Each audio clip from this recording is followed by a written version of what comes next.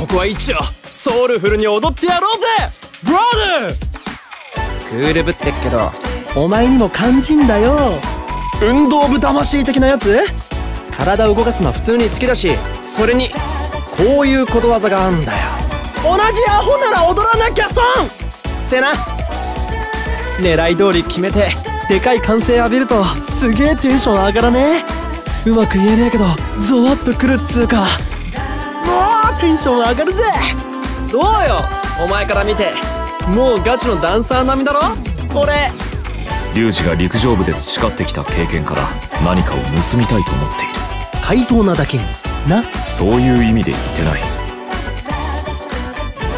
ペルソナ5ダンシングスターナイト。やっぱ俺が攻めてかねえと盛り上がんねえもんな